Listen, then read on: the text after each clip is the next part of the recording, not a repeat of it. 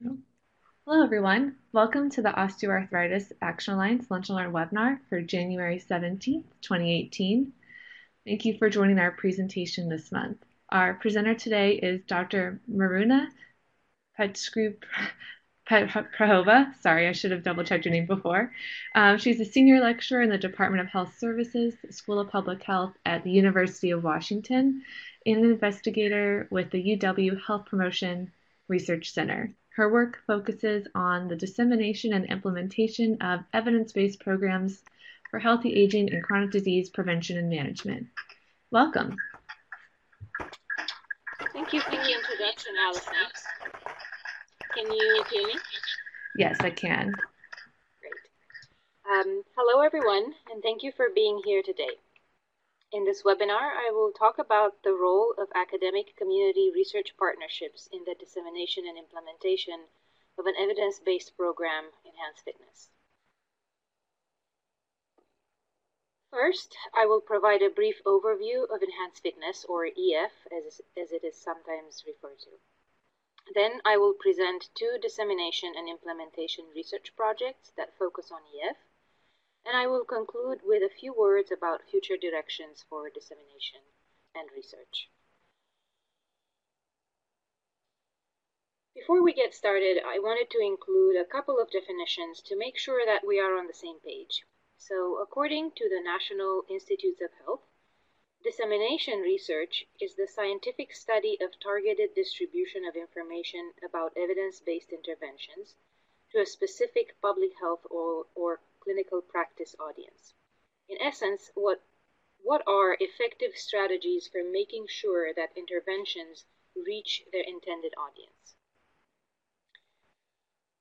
Implementation research, on the other hand, is the scientific study of the use of strategies to adopt and integrate evidence based health interventions into clinical and community settings. So, in other words, once the intended audience has found out about the intervention pro- inter, uh, program, what do they need in order to implement it successfully and with fidelity? And we conduct studies that test different approaches both for dissemination and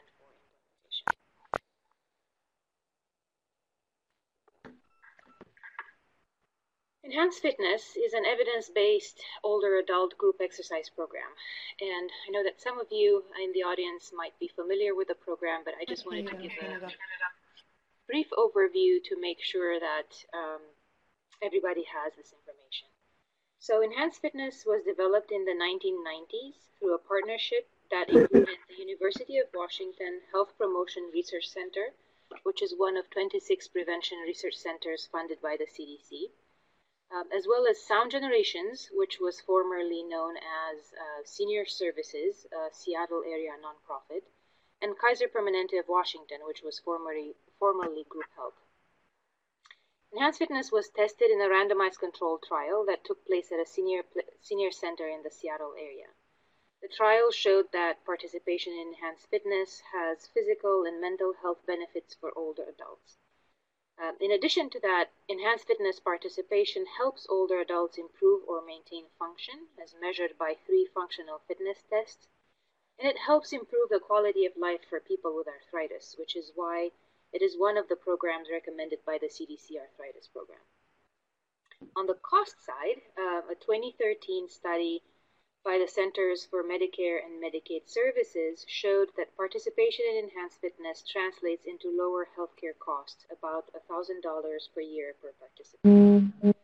There is another study uh, that was conducted by CMS, and the results are going to come out this spring, and so we will have even uh, more current information about cost savings for EF. Enhanced fitness includes exercises specifically designed for older adults. Um, it takes place in uh, one hour classes that are delivered three times a week, and participants can sit or stand depending on their level of fitness.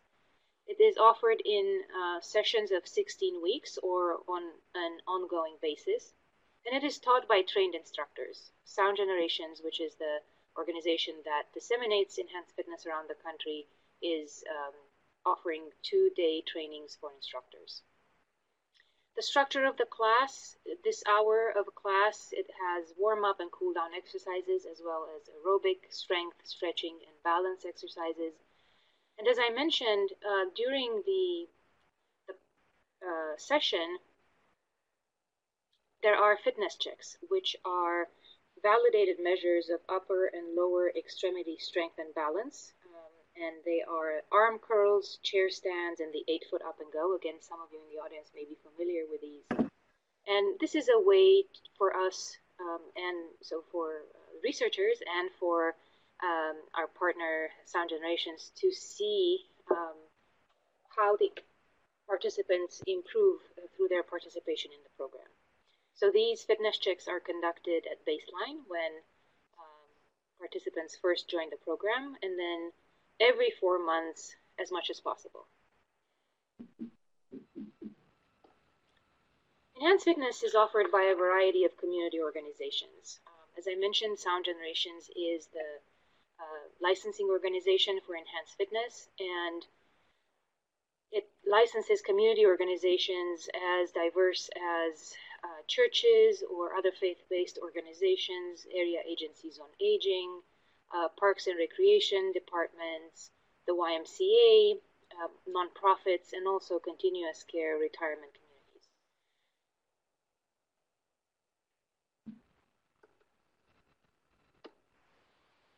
And EF is being disseminated nationally. So um, since 1998, um, when the randomized controlled trial was conducted, EF has spread from just being in Washington state to um, over the lifetime of the program, 44 states and DC, and it has served almost 80,000 participants in these uh, 44 states plus DC.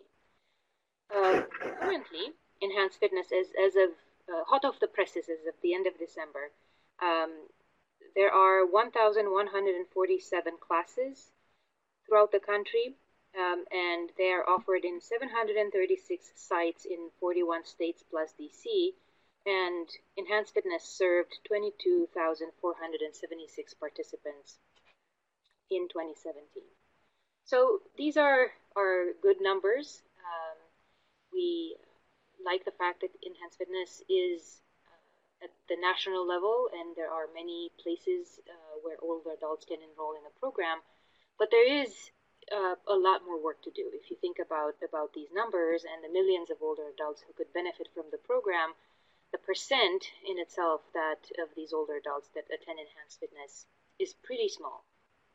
So one of the big charges for Sound Generations and for us as their research partners is to think about how to scale up the program, how to make the program available to even more participants. The recent, some recent dissemination milestones um, have been that in 2012, uh, Sound Generations has uh, signed a licensing agreement with YUSA, which is the National Resource Office for the uh, YMCA's, and also implemented an online data entry system. And so all of the uh, participant characteristics, demographic characteristics, uh, health status, as well as the functional tests that I mentioned are uh, collected through this online data system and report reports can be created to show to participants, to send to their providers, or to uh, to apply for grants. As I mentioned in 2013, uh, the CMS evaluation study showed how much uh, money participation in EF uh, saves in terms of healthcare costs.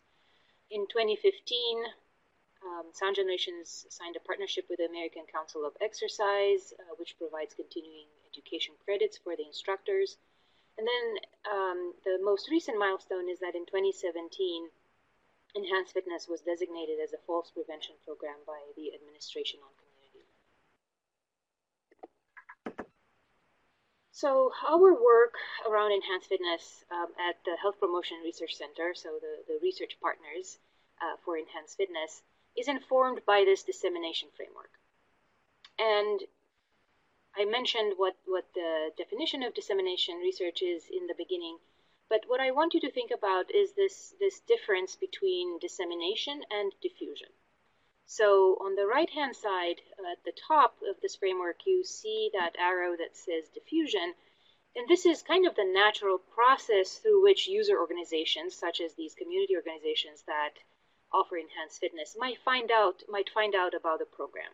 Um, it's kind of up to them to do the work and for the information to trickle down to them. On the other hand, dissemination is this very strategic and purposeful process through which the um, the information about an evidence-based practice is sent out and it, it, targets particular user organizations. And on the left-hand side of this framework, you see that there's a role for researchers like us at the Health Promotion Research Center and um, the disseminating organization, which in this case is Sound Generations, to partner and create this, this very targeted dissemination approach that makes sure that the organizations that can serve older adults through this program are actually able to learn about it and, um, and adopt it. So the next um, part of this presentation is going to be about these two uh, dissemination and implementation research studies. So as I mentioned, in 2012, um, Sound Generation signed this licensing uh, partnership with YMCA of the USA, which is the umbrella, the, the resource office for all Y associations around the country. However, um, even before this 2012 agreement, some local YMCAs were offering enhanced fitness on their own. And we call those YMCAs early adopters because they had seen the value of the program and they had adopted and implemented enhanced fitness before this big top down um, effort to offer enhanced fitness throughout the YMCA network. So, what we did was we uh, conducted this research where we examined facilitators and barriers to the adoption, implementation, and maintenance of enhanced fitness in early adopter YMCA associations. So these are, again, the ones that were offering enhanced fitness before the big licensing agreement took place. And we did this by conducting interviews with participants, with instructors, and YMCA staff that had been involved in implementing and delivering. And these were um, YMCAs from around the country, not just in the Seattle area. So what did we find? Um, well, in terms of facilitators and barriers for the implementation of um, enhanced fitness in YMCAs, um, we uh, summarized our findings around these five main themes. So we found that instructor training is very important. Having that two-day um, training and a, a manual for uh, enhanced fitness make uh, certain that the program is delivered uh, with the same structure and um, and with fidelity throughout these uh, different organizations. The structure of the program was important. The fact that it was designed for older adults and the fact that it had uh, these three sessions was important to maintain um, for, for participants to maintain the, the gains in the program. And also, um, but also at the same time, it presented some challenges for YMCAs that were trying to fit uh, three sessions in a week when uh, in their buildings they offer other types of programming. And so there's there was some competition for space. Uh, we found that champions uh, had a big role both in the adoption of the program, so the initial decision to offer to start offering enhanced fitness, and also for the uh, continued implementation of the program, perhaps in the face of changing priorities or diminishing resources. Um, another important thing that, that helped with the sustainability of enhanced fitness in the in these Ys was this idea that enhanced fitness is a good fit for the mission of the Y. So, for those of you who are who are uh, may not be familiar with the Y, um, they are going through um, a big um, change in the sense that they are uh, becoming more and more a provider of health services in the community. So they are offering a lot of evidence-based programs around chronic disease prevention, such, uh, the diabetes prevention program, physical activity like enhanced fitness, also Livestrong for cancer survivorship, um, and also uh, hypertension management. And so they are moving from this uh, the the previous image of them just being a swim gym and and serving just the people who want to stay fit to serving what they call health seekers. So people in the community who are trying to find resources to be able to stay healthy. And then, of course, as is the case with many community organizations, funding was a barrier. Some of these uh, Ys had been able to offer enhanced fitness because they had received grants, but once the grant funding ended, it was difficult for them to continue to offer the program.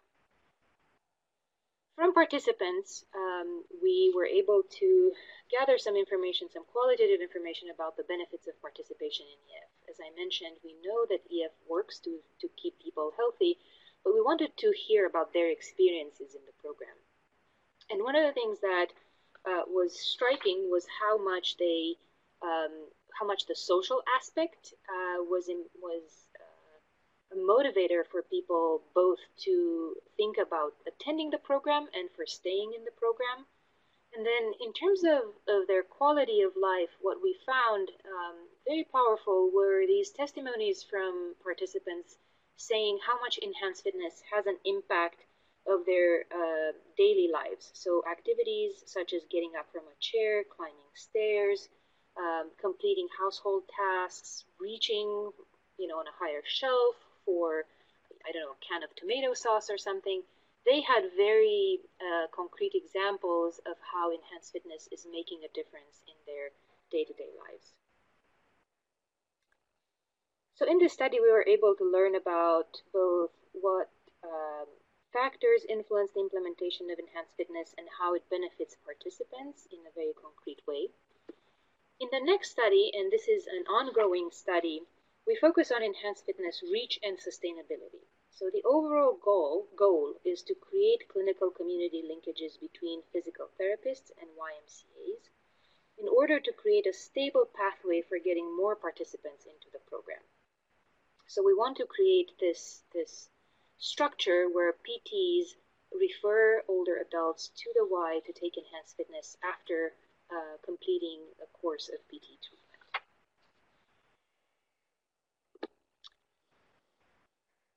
So, um, you know, just a, a, quick overview of this project. Our goal is to, our more concrete goal is to develop and test an intervention for increasing physical therapist referrals for older adults to participate in enhanced fitness at Ys.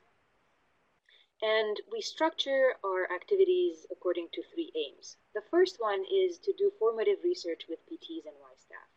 And what that means is that we want to learn from PTs and from Ys what they need in order to be able to create this linkage. So we as a research center, as I mentioned, had done some, some work with Y staff but not necessarily about this referral process. We had no experience working with physical therapists. And so we really needed to go in and, and learn from these two different worlds that we were trying to connect.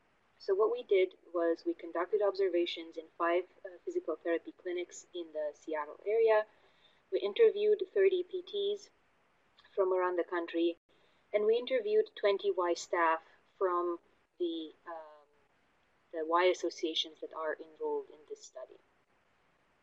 The second uh, aim of the study is to develop and assess the feasibility of this intervention. So based on the learnings from aim one, from, from this formative research with PTs and Y staff, we put together a toolkit uh, for increasing capacity in Ys to do outreach to PTs. And so the interve our intervention consists of this toolkit um, that includes a lot of resources for Ys, a Y change agent um, that is, is housed at YUSA at the national office, and also um, monthly uh, group technical assistance calls. And we are now testing this in a randomized controlled trial with two arms, where we have 10 Y associations in the intervention arm receiving this intervention and participating in these calls, and 10 Ys that are uh, just doing business as usual. So the way we think that this uh, would work is that we would create a virtuous cycle, right? So Y associations build capacity for outreach, then they reach out to PTs. PTs recommend enhanced fitness to older adults. Older adults participate in enhanced fitness at Ys. Um, based on the results from, from the fitness checks, they see there's evidence that they have improved function or maintained function and mobility, and there's pain relief.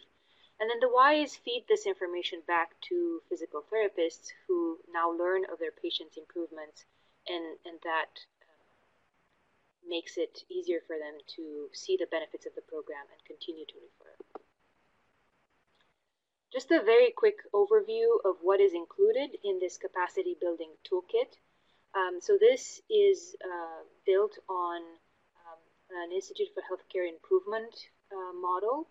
And it, it, includes activities for seven months, uh, starting with how, how to build a team, uh, how to engage senior leadership, learning why um, this project is important, through partnership planning and capacity planning, and then setting up the structures for data collection, planning for outreach, um, kind of building up each month a new set of skills that uh, culminates in the in month six when they went out and presented to PT practices, and then in the last month, uh, reviewing and planning for quality improvement.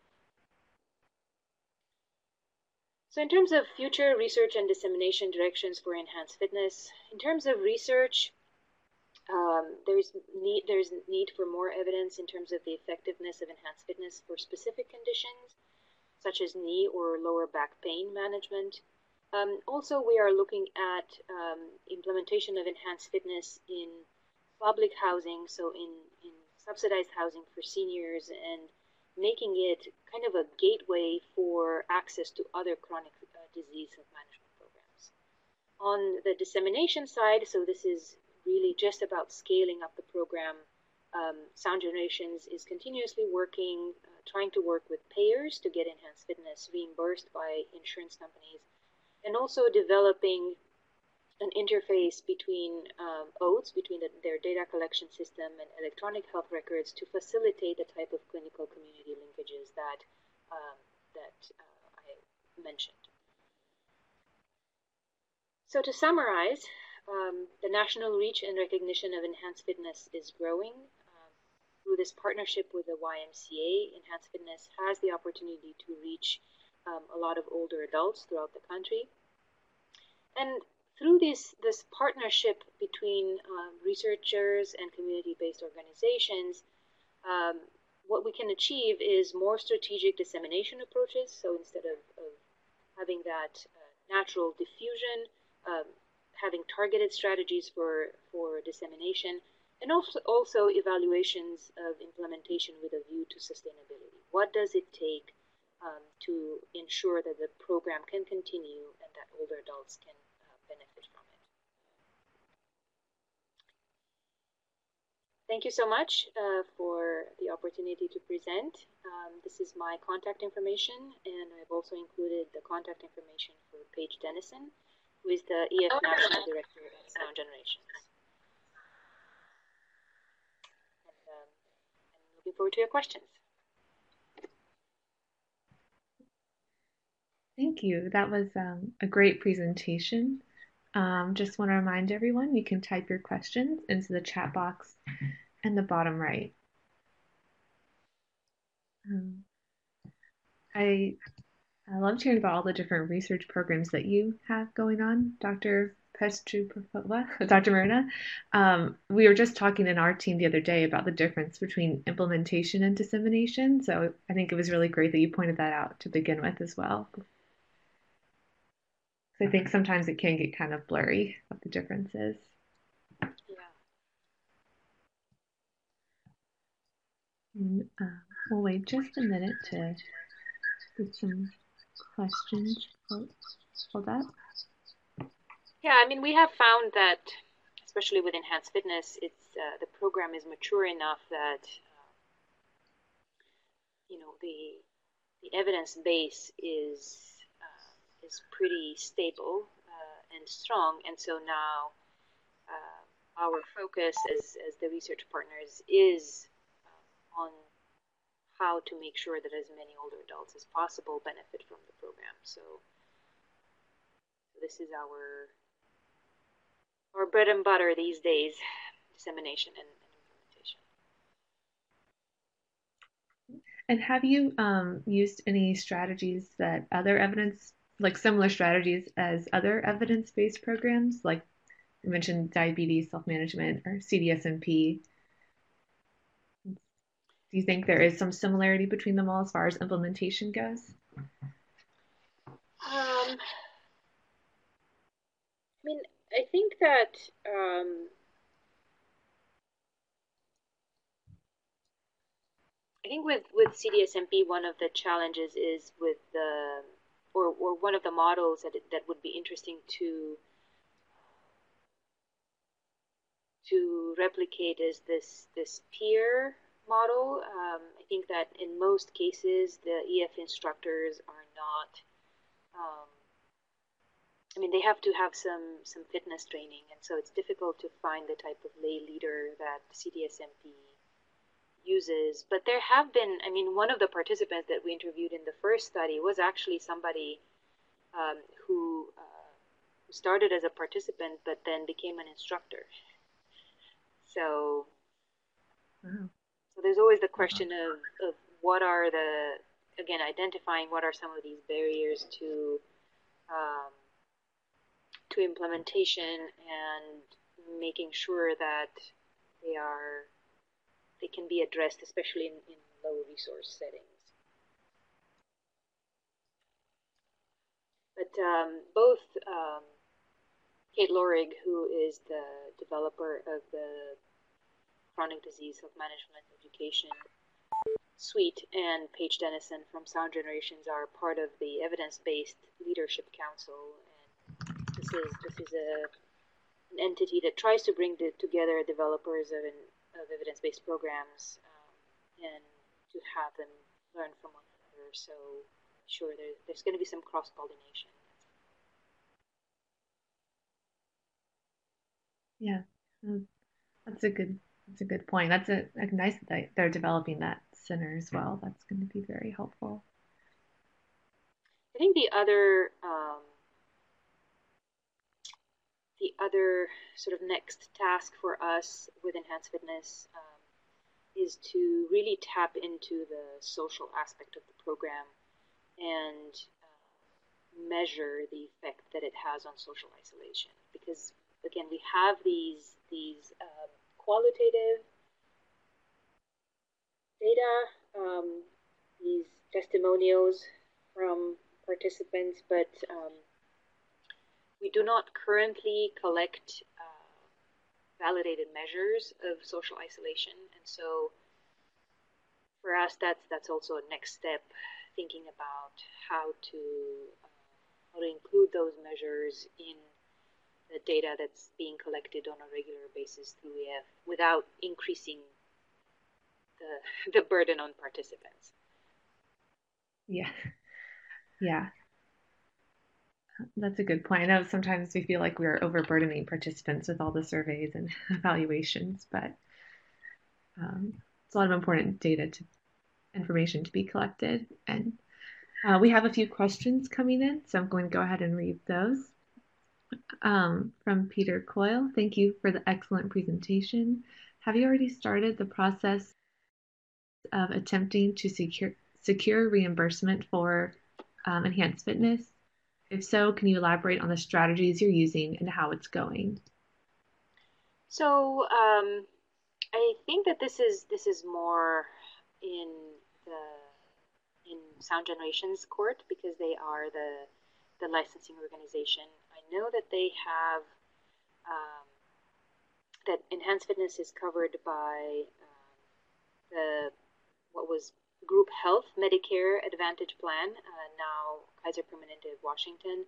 And I think that has been uh, partly due to the fact that Enhanced Fitness was developed in uh, partnership with, uh, with them initially. Other than that, um, there are some, some efforts around the country, but um, nothing concrete so far. it's it's a it's proving a, a pretty tough nut to crack, um, and we're hoping that with the new data from the CMS study that is is uh, going to be published uh, this spring, that that will will help us make a stronger case for reimbursement. Um, we also hope that you know with with CMS recognizing uh, reimbursing for the diabetes prevention program, it kind of opened the door for other uh, evidence-based programs to achieve that status. If you have any ideas, I'm I'm open to. I'm eager to hear them. We've also discussed here at the Alliance um, walk with ease and that same kind of process of reimbursement and just the economic um, impact of it. So we definitely also love to put our heads together. we could make some progress on that. Um, and the next question What recommendations do you have as first steps to disseminate an evidence based exercise program that has published RCT evidence? So I think the you know if you go back to can I go back to the? Yeah you should be able to put back, back in. slides right? So mm-hmm. sorry. So if you go back to the HPRC dissemination framework I think a very important step is um, the box on the left hand side under dissemination resources. So my sense is that um, the person who has who has posed the question is um, in the in the researcher box, and what we have found with uh, EnhanceFitness is that partnering with a dissemination disseminating organization, uh, in this case Sound Generations, has really um, helped disseminate the program. Because you know we in in our research center don't have the expertise for marketing, for creating business plans, for um, collecting license fees and, and things like that. And so partnering, you know, finding a disseminating organization, um, I think is a is a is a great next step. Um, and I will tell you that our experience with another program that was developed at, at HPRC, uh, which is called Pearls, which is a, a dissemination, uh, sorry, a depression management program for older adults has been different because we have not had this the uh, support of a disseminating organization, and so the program is is not as wide as widely uh, disseminated. So I think that so first finding a disseminating organization, and then thinking about who might be the user organizations, and and, um, and trying to to create this this pipeline for dissemination finding the right partners. So that, that would be my suggestion.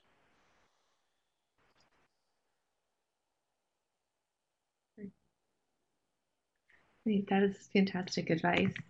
Um, and I know now we've gone five minutes past 12:30, so um, want to thank everyone for joining us today. And for those of you that need to sign off, um, you can go ahead and do that. Um, if you could take a minute to evaluate today's webinar in the chat box, that would be great.